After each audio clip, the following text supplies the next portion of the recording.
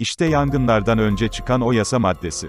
Üst üste çıkan orman yangınlarının başladığı 28 Temmuz'da değişen kanun dikkatlerden kaçmadı. Türkiye yaklaşık 4 gündür orman yangınlarıyla mücadele ediyor. Türkiye'nin dört bir tarafında çıkan yangınlar henüz söndürülememişken Cumhurbaşkanı Recep Tayyip Erdoğan'ın imzasıyla 3 gün önce yürürlüğe giren kanun dikkat çekti. Kanunla orman alanlarındaki yapılaşma tasarrufunu Kültür ve Turizm Bakanlığı yetkisine bırakıyor. Devam eden bu mücadele sırasında tam da yangın felaketlerinin başladığı gün, orman arazileri için kanunda değişikliğe gidildi.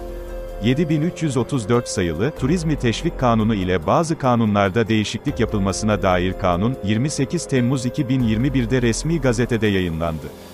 Kanunun birinci maddesi, D, fıkrasına göre, kültür ve turizm gelişme bölgeleri dışında kalsa bile orman arazileri, kamu yararı, kapsamına alınarak turizm yatırımcılarına açılabilecek.